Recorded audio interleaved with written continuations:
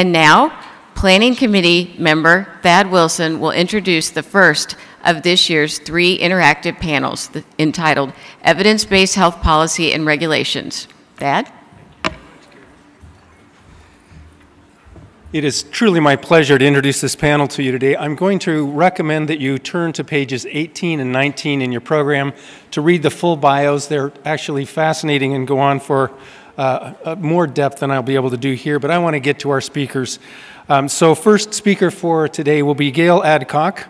Uh, she is a nurse, a nurse practitioner, and a representative in the North Carolina House of Representatives. Our second speaker will be Bill Hoagland, Senior Vice President at the influential Bipartisan Policy Center here in Washington, D.C. about that? Bill? Our third speaker will be Dr. Robin Newhouse, and she's Dean at the Indiana University School of Nursing. Robin? Our moderator for this session is Dr. Bernadette Melnyk, who, among other titles, is Dean of the College of Nursing at The Ohio State University, and I did add the the in there for you, Bern. There you go. And so I'm going to turn it over to Miss Adcock. Oh, Gale, oh, come on up.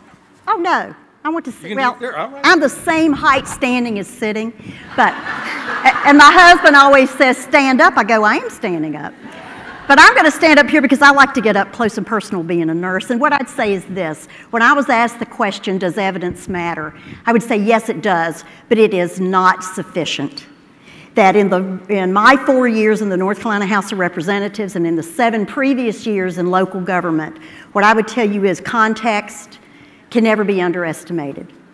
And we as nurses understand this, right? When you're going to do research, don't you first do a lit review and see what else has been done and what else is going on, right? When I go in, I'm in family practice, I'm a family nurse practitioner. When I walk in with my patient, I don't just assume the only thing on their mind was their chief complaint today coming in to talk about their hypertension, their diabetes, their depression, or whatever, that there's context to that. When you teach students and you got a great student and that student did badly on an assignment, you don't assume that everything's going great with that student, right? You know that something's going on context. This is what politics is. This is the hardest thing I have to explain to nurses and, and to other constituents as well, is that politics is a completely non-linear process.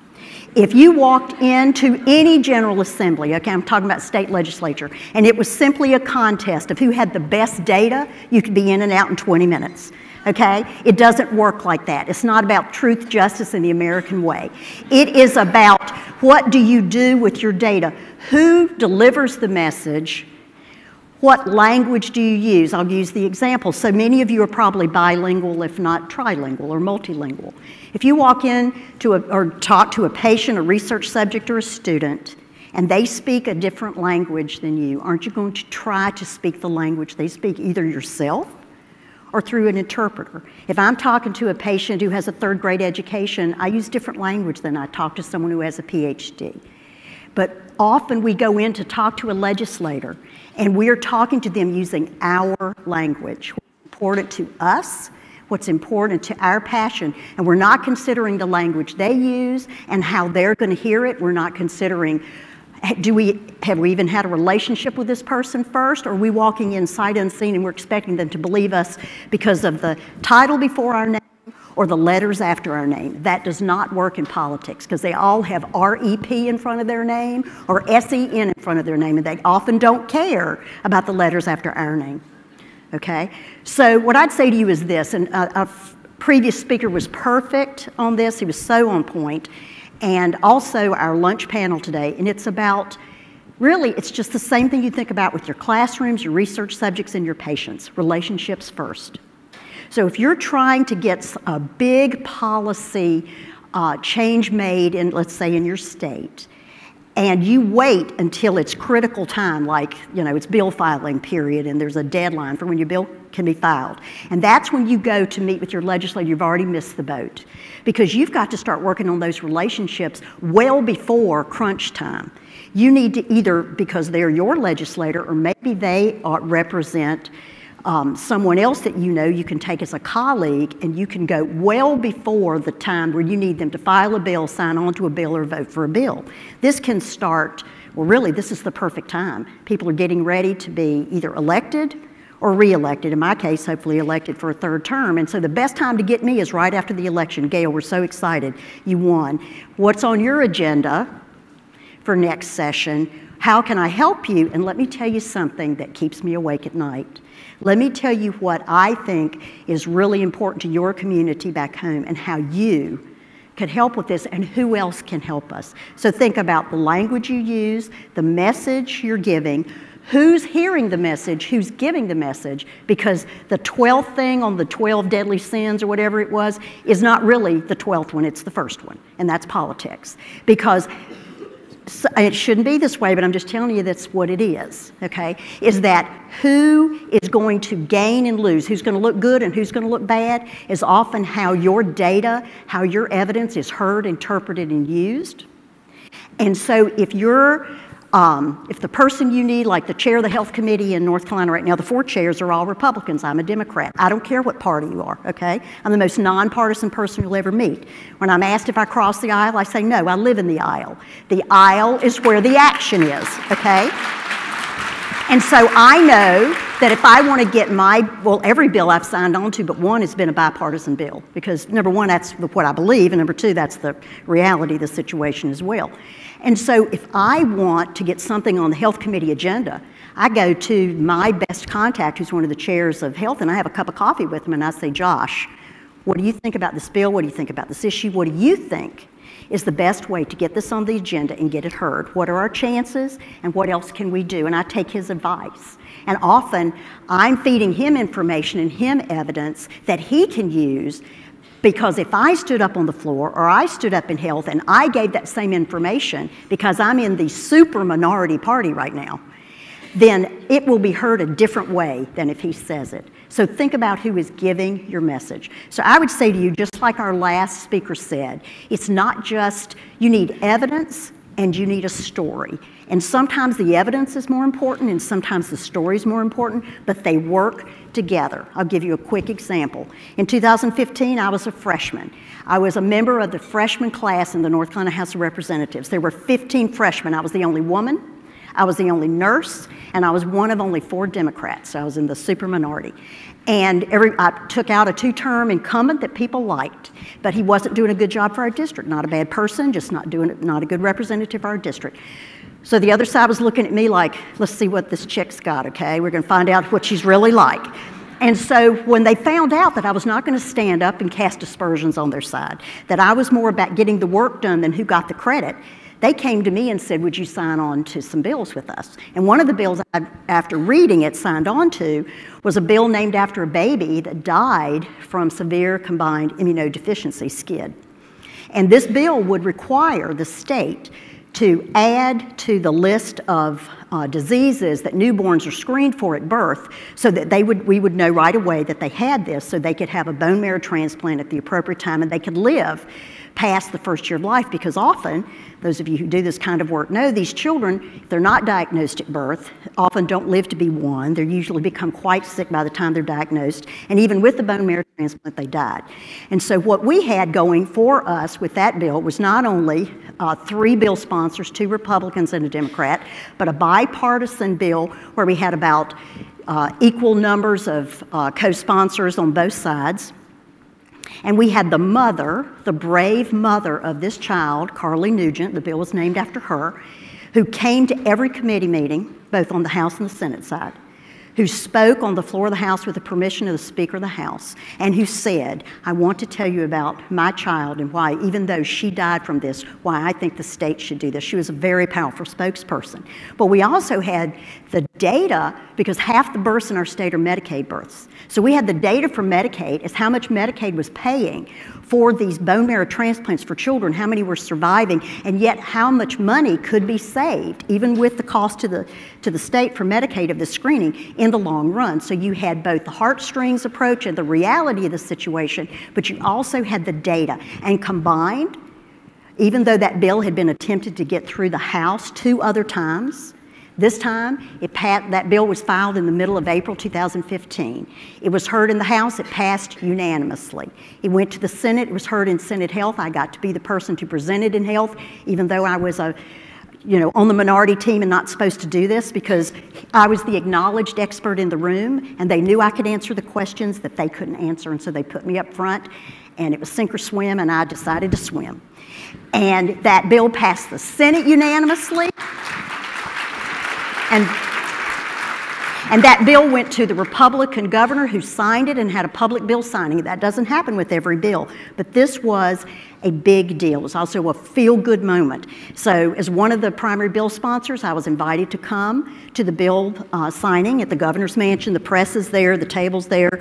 The governor turns around at some point right before it starts. He goes, Are you the freshman? I said, Yes, sir, I'm the freshman and he signs the bill. When a governor signs a bill, they sign it with multiple pens. So he signs it, he signs the first page with a pen, and then he hands the pen to the mother. And the mother walks across the room and she hands the pen to me. And she throws her arms around me. I have a great picture of this, and every time I tell this story, I say I'm not going to do this, but I do, I get emotional. And it was that moment that I realized that it was her story that really made this work, but without our data, I'm not so sure it would have, would have worked. And, you know, I cried, she cried, the governor cried. Of course, this governor, he cried a lot. He had a lot to cry about. But I'm just telling you, so consider the message you've got, the language you use, when you deliver it, who delivers it, and don't give up on evidence, but get your stories together. Thank you.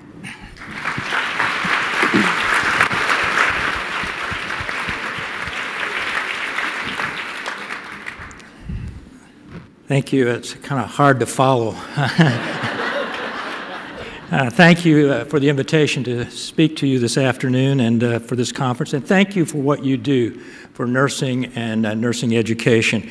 I am the outlier here I, uh, on this panel. I have no specific uh, health educator or provider background.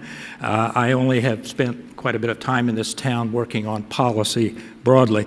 In fact, I'm a little challenged here because uh, I'm an undergraduate degree from Purdue University, and we have Indiana University and Ohio State over here uh, going forward.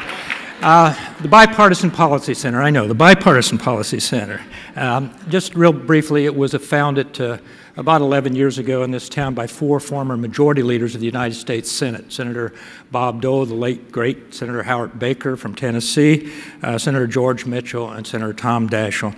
And as its name would imply, um, the goal of the center is to uh, bring together decision makers from both sides of the aisle to find some common ground on some of those major issues that the country faces and that need to be resolved in a bipartisan manner to have any kind of semblance of long term stability going forward.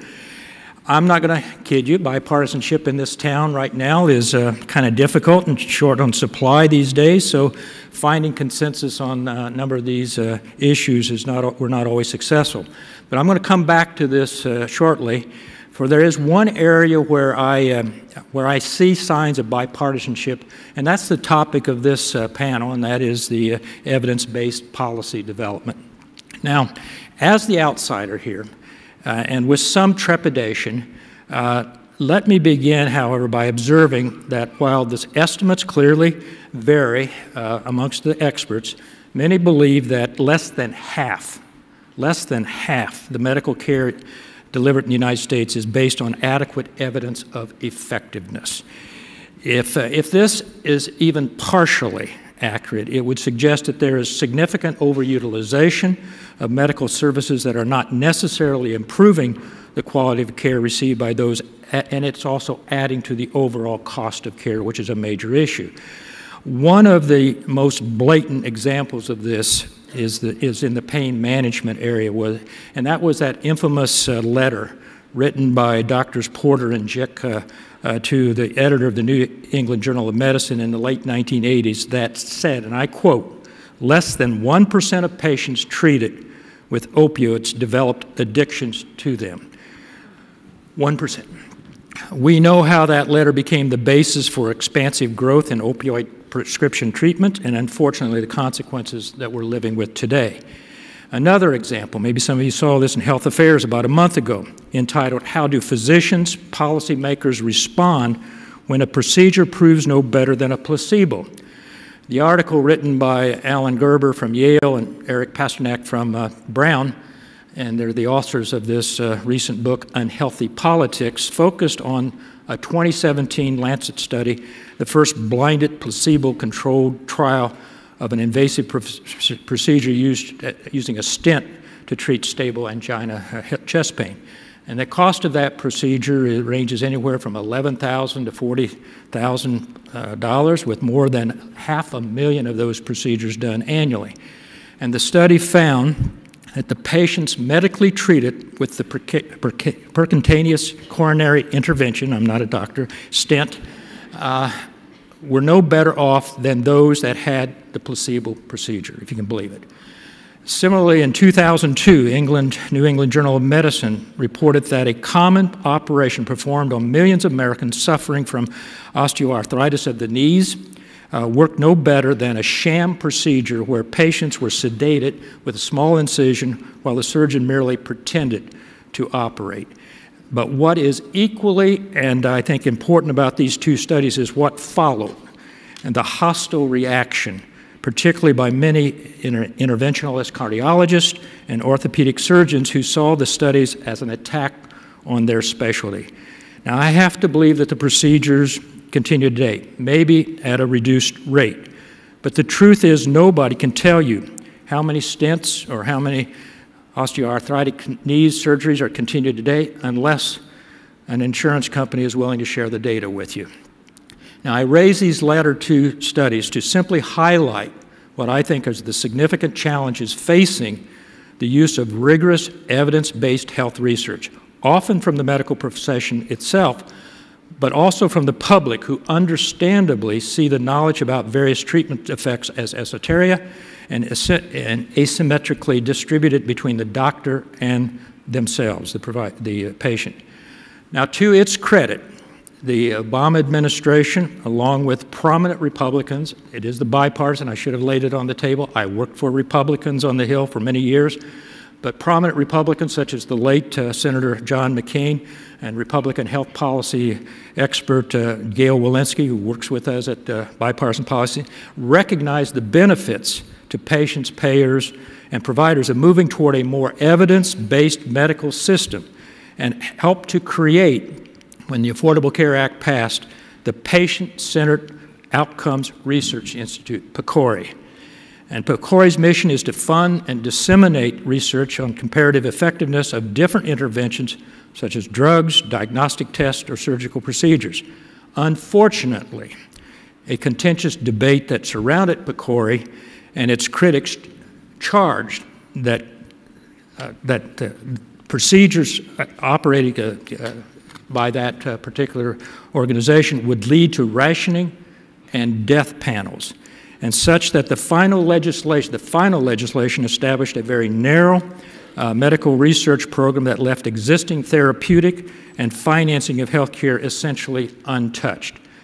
Literally, the findings of PCORI research may not, and this is in the law, may not put in place practice guidelines, coverage recommendations, and payment or policy recommendations. They can disseminate the research results through their usual channels of published medical journals and with the support of organizations such as yourself, but changing practice patterns to reflect the research remains a long-term challenge. As an old uh, budgeteer, the fact that uh, PCORI is not required to consider whether an intervention is cost effective I think weakens its political appeal and will make it its reauthorization next year unwrapped from the passage at that time of the Affordable Care Act a major challenge next year when it comes up for reauthorization. Why? Because the challenges to PCORI represent that what they represent to politicians and the political process. The authors of that book, Unhealthy Politics, argue that policymakers are not keen to accept responsibility for oversight and shortfalls in the medical profession, largely because, thank you very much, you, doctors, nurses, providers, enjoy much greater public trust than the government officials themselves. Uh, so I am concerned that without the strong support of organizations such as yourself, that what PCORI is doing to bring some semblance of evidence based research to the practice of medicine. If they don't bring that up and don't push it forward, we will have not made as much progress as we should. Now, let me make a very subtle but I think important distinction between evidence in the practice of medicine and evidence in the development of policy.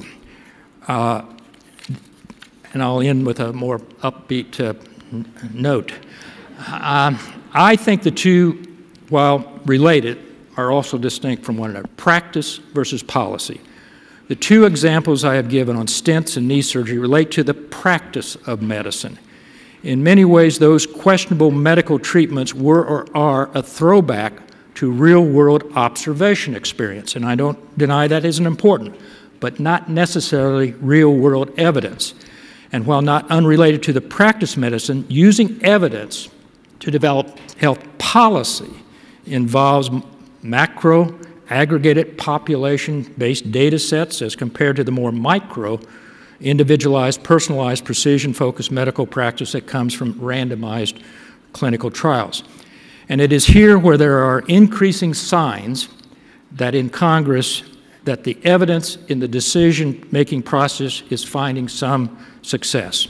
Strange fellows, I know this is, sounds strange to you, but a bipartisan duel of Speaker Paul Ryan and Democratic Senator Patty Murray of Washington championed legislation in early 2016 entitled Evidence Based Policy Making Commission Act. It created an executive branch uh, commission, which finalized its work about a year ago and issued a set of recommendations carrying out the law's goals of number one, to determine the optimal arrangements for which administrative data, survey data, and related statistical survey data that could be made available to facilitate program evaluation, policy relevant research, and cost benefit analysis by qualified researchers and institutions such as yours. All this while trying and working to protect personally, personally identifiable information. The two congressional champions of that commission, um, Murray and Ryan, uh, then introduced legislation entitled the Foundation of Evidence Based Policymaking to begin implementing the recommendations of that uh, uh, Blue Ribbon Commission.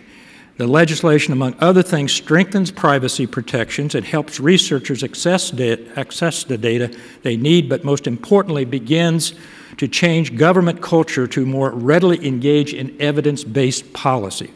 The legislation passed the House unanimously late last year, and we are hoping it will be adopted by the Senate in the lame duck session coming up uh, after the elections. Your organization's support for that speak, for the Speaker and the Senator's work would be very welcome. And let me close with a specific example of where such evidence based health policy has been effective. In the 1970s, David Olds developed a program in upstate New York known as the Nurse Family Partnership Program. Many of you probably were involved.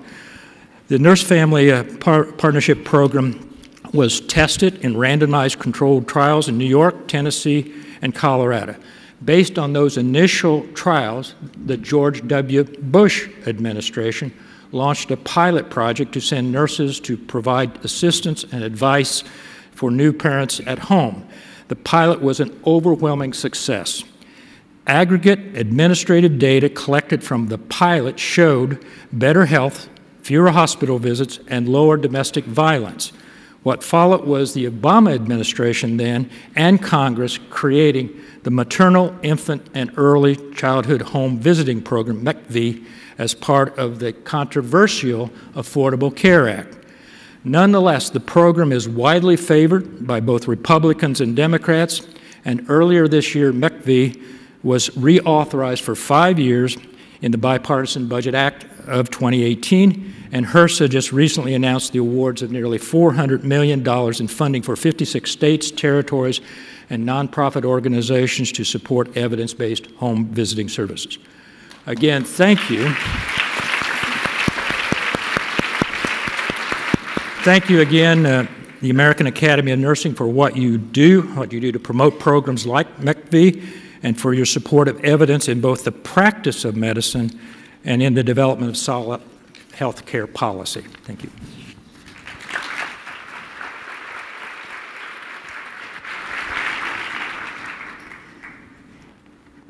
I'm taking the perspective of someone that is generating evidence to inform policy. So I'd like to start by just covering a few statistics, which you probably already know. We all know about the exponential increase in deaths related to opioid overdose.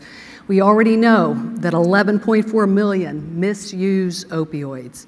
We already know that 1.6 million person years of life is lost in 2016 alone, most of the burden falling upon people aged 24 to 35. I could go on and on. This is what Dr. McGinnis called the plot of people in crisis.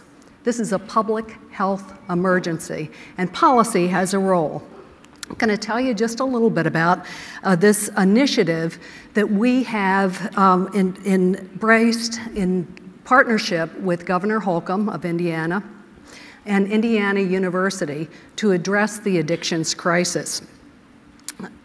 Governor Holcomb made opioid um, addiction and um, other deaths related to addiction one of his major priorities because some of these statistics when he first entered his uh, role as governor and went on some listening tours.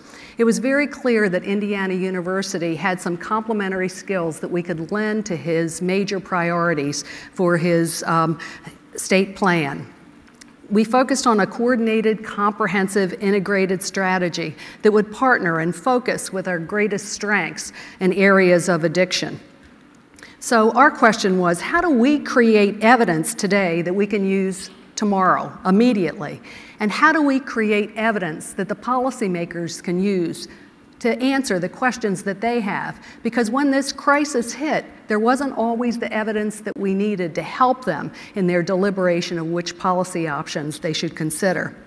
Our efforts in partnership with the governor are three goals. Number one, to decrease the incidence, the number of people with substance use disorders. The second is to decrease the number of people that die as a result of opioid deaths. The third is to decrease the number of babies born that have been exposed to substances in utero. So there are many things we could do, but as a university, we bring specific areas of expertise. Data, data science, data analytics. We have an Indiana Data Commons with health information exchange data, medical record data that can help provide data to answer these questions. Education, training, and certification. We know that we don't have the workforce that we need. We are a organization that can train addition, additional addictions counselors and add education uh, to interprofessional colleagues in the health sciences.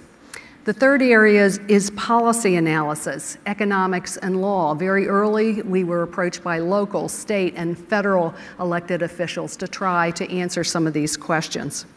Basic applied and translational research, we naturally have expertise in, that can answer questions that the state was working on or add additional team members to help answer those questions. And the last one was community and workforce development. We knew that this was a complex and needed to be an integrated strategy. We approached it with a socio-ecological model, knowing that we couldn't just focus on the people with addictions, the individuals, but the individuals were nested with an in interprofessional social context. So we needed to partner with many, many people. That there were organizations within these contexts that also needed to be um, activated to help in this fight. And those organizations are nested within counties and towns with local elected officials. And then at the top of the socio-ecological model in our response is the social and public policy. We knew we had to affect policy that could be helpful to people and families that are dealing with addictions. So our focus, no, we, we knew right away that medical treatment was not the only thing that was going to help. We knew that there were policies and laws that could be helpful or could be harmful and make it more difficult for people to get into treatment. So, in those first questions that were raised, we quickly charged a team. Uh, 16 projects were launched. We called them shovel ready projects. And each one of those five areas of our capacity in uh, partnership with the state and many, many other um, people. But we charged the uh, McKinney School of Law to help with the evidence synthesis of the policy options that our um, policymakers could consider. And that team spent a great deal of time both with our state uh, elected officials as well as our federal elected officials. As you might expect, there were things uh, that uh, could be uh, potentially important policy options related to harm reduction strategies, health care interventions, care coordination and wraparound services, drug take-back programs, and many uh, more. That team followed up with a, a, consensus survey to try to understand the appetite for different policy options and are now working on uh, a synthesis of the guidelines. As you know, there's a proliferation of guidelines um, to, to help uh, advise us uh, within healthcare on the opioid prescribing and, and many other things and help us understand where the commonalities are. So we know that harm reduction measures like naloxone are uh, incredibly important. Naloxone has, in our state, uh, been one of the major priorities of the Grand Challenge, um, our work. We uh, recently have um, hold, held a, a, naloxone distribution event and training event that was uh, very well attended, and we also sponsored those events in libraries with the idea this is a harm reduction strategy that if we can save someone that is overdosing, we gives a, it gives us another opportunity to help get them into treatment. But there are many, many other policy options that we have an appetite for or we don't have an appetite for. So I would say for us um, as nurses, it's incredibly important three things evidence, partnership, and presence. Number one, evidence, we have to present information that they need when they need it. We need to be ready with facts and we need to tell them how these policy options improve health and health care, the cost and the quality issues. They need to know how will this impact the, the people of the state or the nation. We need partnerships. We need to work with local, state, and federal elected officials.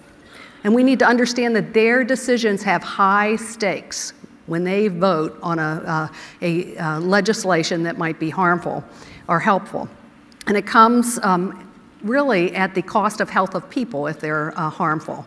So also knowing that this interaction is a marathon, not a sprint. So we need to have, be good partners with our policymakers.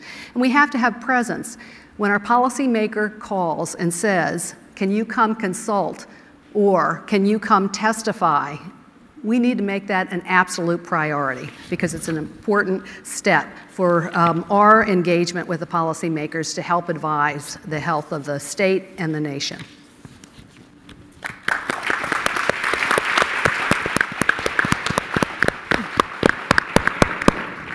Please help me in thanking Gale, Bill, and Robin for outstanding food for thought.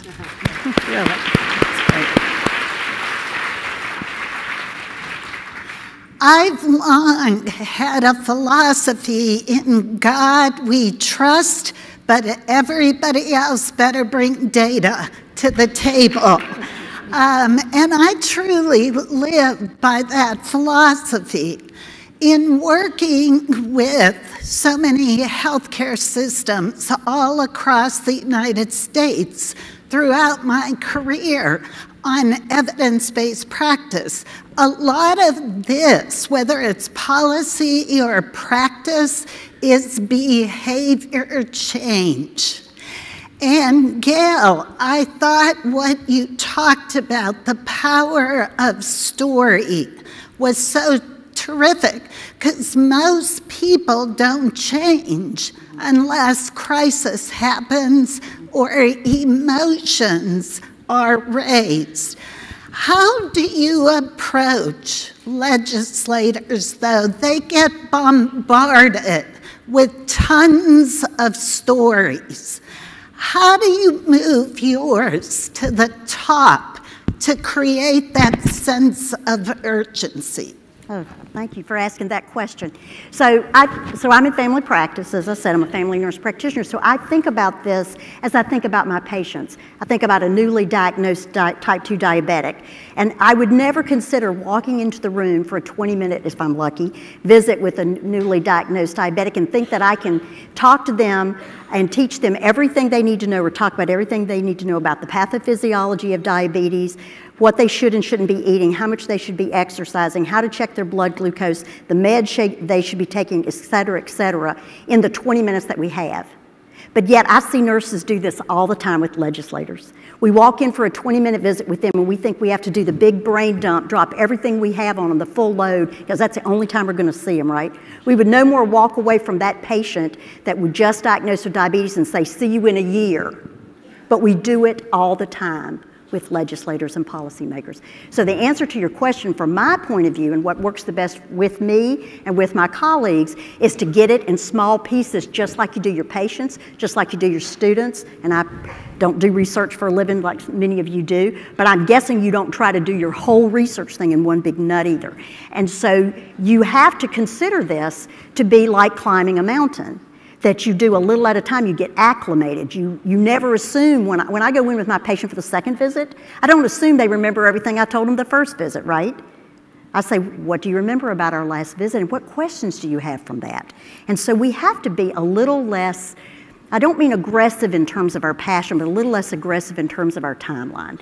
Because when you go to a legislator and you want to tell them your story and make it sticky, you know, a marketing term, you want to, number one, not give it to them so fast because, again, context. We've just been to caucus meetings, we've just had committee meetings, we've just maybe seen six or eight other groups, and now here you come and we got three or four more. So often you can say, I'm here to talk about, let's say, the opioid crisis. What questions do you have? And start with their question and have a you know, a collection of stories in your head you want to tell. Or another way to approach it is to say, I'm, I am assuming you have a lot of questions. There are so many different ways to approach this problem. I'm here to tell you one story today, and I'd like to come back and see you in a couple of weeks and bring a colleague with me, and I want to tell you another story about that. That, that would be some of my suggestions.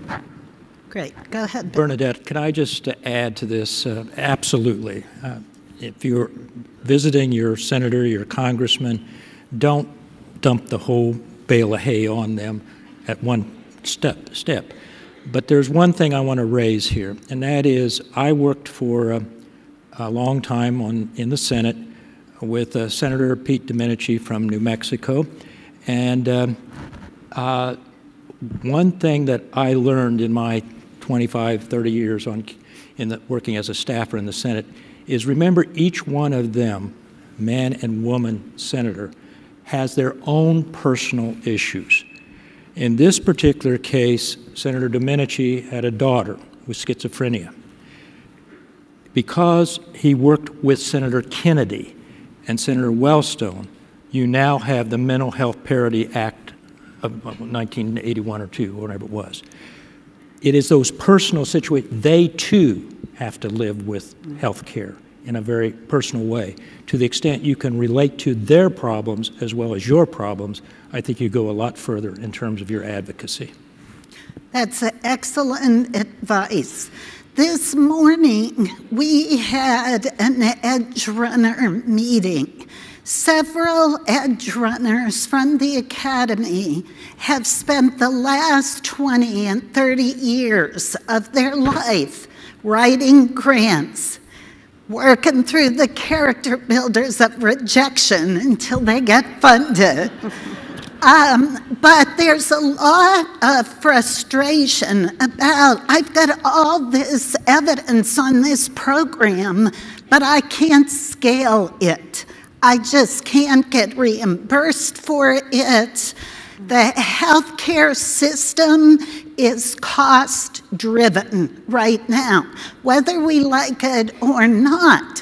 One of the things I think as a researcher is we've got to put more cost outcomes on the research that we're doing. So, more what I call so what hard outcomes Because if practice is going to change so often, a CEO, for instance, wants to know what's my return on investment. Would you agree with that or add to it? I agree with it. I would agree with it, but I would also say that I tried to make the point in my presentation that there's a lot of practice that has return, means, as is always the case, I'm an old budgeteer, if you're going to expand in an area where there is good research, that might mean that you have to admit that this other practice is not a return. And there's a trade off here. And uh, I think that's, that's difficult uh, to, to stop something when and refocus those dollars towards something that's more effective. Well, you bring up an important point just as evidence based practice is so important, de implementing practices yes. without best evidence is equally important. Robin, you were going to say something. Well, just um, thinking about the evidence generated by our edge runners, I think uh, Mary Naylor is a good example of not only conducting a number of trials that supported the transitional care model, but she stayed on the policy circuit and she testified and she talked to people and she tested her model again in, in different ways. So it didn't happen right away that the transitional care model was covered. But it did happen over time, but it, it happened because it was policy engagement and it was wrapped into other transitional care uh, payment methods. You, you bet. Rob, and you highlighted a fabulous partnership between your university and your governor. Mm-hmm. And I know you're still in the early phase of implementation. But what lessons have you learned, or what would you do differently, if anything? I, I, actually don't think I do anything differently, but what I would say is in academia, we are not known to work fast if you so so this was different um, it was a different approach. So and you know i've worked in health systems for a long time and we do work fast. When an autoclave breaks you're going to get it fixed and you're going to figure out why you're going to figure out why failures occur. So it was really rapid cycle um, reviews for the work that we're doing uh, engagement um, it was quicker and the scientific review the proposals were quicker uh, uh, and they were funded quickly and they were expected to get up and going and start recruiting. So um, we, we announced in uh, October last year, the first set of projects 16 launched in January. Then we went through, through a longer phase and engaging with our community and engaging with our faculty and staff helped to that helped our faculty and staff think about ways they might serve in response to addiction. So there were uh, scoping, there were reviews, there were discussion groups, there was an ideas lab. So it helped engage people that had methods and maybe could deploy the methods to the addictions crisis. And the ideas lab also put teams of people together that have never been together before and created some very innovative solutions. That went through the typical proposal process and um, they'll be announced soon. So within a year, we would have funded uh, 32 studies and, uh, and include, including policy studies in all those five areas. So I, I can't say I would have done anything differently because it was highly engaged. It was highly engaged with our community. But uh, I, I, maybe the one area is very quickly after the announcement, we received emails and calls from people uh, battling addictions, people that had stories about uh, their children that they're battling now. Some wanted to um, be known, others wanted to remain quiet. We heard from students, we heard from parents, we heard from policymakers, uh, just a whole group of social organizations, for profits, nonprofits. It was it was community engagement as I have never seen it. I imagine doing a research study. I've never done a research study and had somebody call me, you know, and say, you know, I, I want to help with this. But this was a situation where people resonated with the response. In fact, we've done a follow-up survey of um, Indiana residents, and they, the majority um, are well versed in the opioid crisis, and most believe, about 75%, um, believe that we're not doing enough quick enough. So I think that would be my lessons from the people. Great. Yep. I'm going to now read some questions from our audience. This one is very near and dear to my heart because I just did a study on this issue. There is evidence that longer shifts, 12 hour shifts, are detrimental to patient safety and to the physical and mental well being of nurses. Why our healthcare systems all throughout the country still allowing 12 hour shifts. Um, in the study that we just published, we actually showed, as many other studies have done, that longer shift work leads to poor mental and physical health in nurses. And longer shift work leads to more medical errors, which is compromising healthcare quality and patient safety. So I'm going to address this question to you, Robin, because you also have worked a lot with healthcare systems. Why can't we change this outdated practice? So, uh, the, so there's some supporters, so we're starting a little consensus here. You know, and, and I'm, I, I'm not sure that it's popular with nurses. Um, right? That's part of the issue.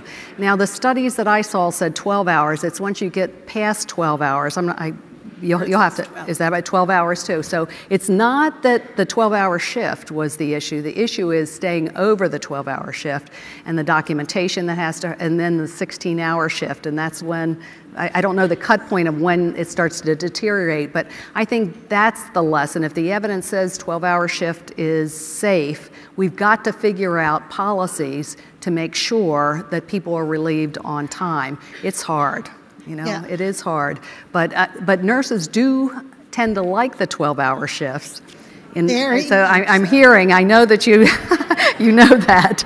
And um, they do like working three days and having extra time. Um, so I, I, it, it is a dilemma, but we, we do know that there are issues with safety and quality, and we have to figure out how to minimize our use yeah. of time beyond the 12 hour shift. Bill. Could I ask, as the outsider here, is this a, also a function of the workforce, the availability of nurses out there? Um, a factor. A but, factor. But not the major factor. Our national study actually showed the errors went up the longer after eight hours were worked. 10 hour shifts led to more errors, 12 hours, even more. So I pulled all the chief nurses in Columbus together and I showed them a body of evidence. And I said, When are we going to stop this? And the answer that I received was, Our nurses love these, they'll whine if we stop them. And my answer was seriously, we've got to do the right thing for our patients and for our nurses. And we've got to let evidence drive the right thing to do. We really do. Um, so there is a lot of opportunity in front of us. There's no doubt about that. I want to ask another question from somebody in the audience. What are some strategies for identifying those health policy issues that could have bipartisan support? Sorry, you're looking at me, I'm guessing. Okay. Um, so let's, I'm going to again talk state level, which is what I know the most. Uh, well, one is to talk with your lobbyist if you have an organization, whether you're a health system, uh, an educational system, an association, you probably have a lobbyist, so you have a presence in the halls. And I'd sit down with them and say, tell me what you're hearing and what you're seeing, because that their job is to walk those halls and talk to everyone and to make friends with everyone and have relationships with as many members as they can on both sides of the aisle. And so often they see the issues that would that are nonpartisan in nature and have bipartisan support. And so they can give you some guidance. Um, the other is to look at the kinds of bills that are passing you know, because you can clearly see what's got bipartisan support. Uh, now, in our case, right now in North Carolina, you can get a bill through both chambers with no bipartisan support because the way the numbers are lined up. But if you look at the bills that have both um, Democratic and Republican sponsors and co-sponsors and have a mix of votes. So it may not be unanimous, it only takes 61 votes for anything to pass our chamber and 26 in the other. But if you see that there's a mix of both parties in there, you're going, okay, I'm on to something. So people care about, let's say, whether it, let's take health care. So they care about um, the opioid crisis. For instance, we had a STOP Act passed in 20, um, 17, and then we had the HOPE bill passed, all these acronyms, in 2018. And they were unanimous on both sides because this is now the mom and flag and apple pie issue. I mean, everybody cares about it. Um, so those are two ways I can think of. And the other is to ask the members of the health committee. So you, you know, you all legislatures have web pages. You can pull up the web page, you can pull up the standing committees for the House and Senate. You can see who serves, who's in leadership, who are the rank and file members. You can see who you know or who you could know because they're in your district, you could get to know. And you, and you ask them for a cup of coffee and you say, I'm interested in advancing the health status of the people in your district and the people of the entire state. But I know that you're down there every day and I'm not, and you know how things work. What do you see that's possible to do and that you think could be done, maybe in this session or more than one session? And often you get some great advice that way. Great advice.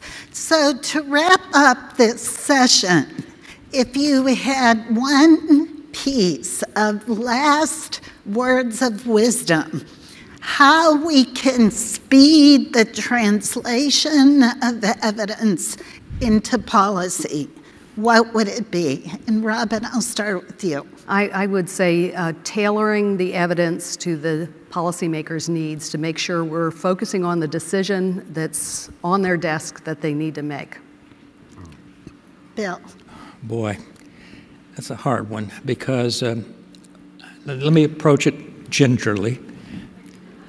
There is a, there is a sense today that uh, evidence is not that important in policymaking, that the truth doesn't matter. I'm trying to be this, I'm being ginger, but. Uh, you're in a friendly crowd, you're okay.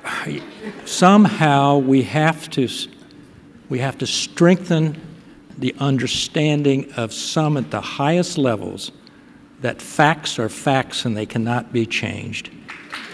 Yeah.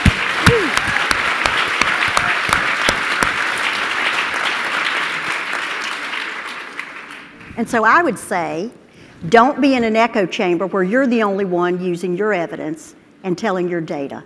We need other people to use your evidence and use your data and to be supporters of you and to be collaborators with you. So when you can get the Chamber of Commerce to use your data, when you can get educators to use your data, when you can get people who support uh, business and environmental protection and economic growth, when you can get them to use your data, then people will listen to it because they start hearing the same story over and over from different people and they say, hmm, there's something here.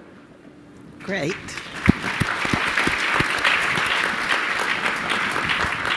I want to thank our terrific panelists. You all did a brilliant job. Thank you.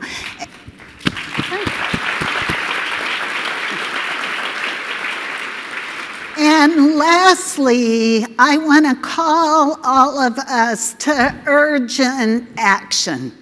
There is still so much evidence out there that's taking 10, 20, 30 years, if you're lucky, to get it into policy and practice. And the last question I will ask all of us here today is what can we do in the next five to 10 years if we know we cannot fail?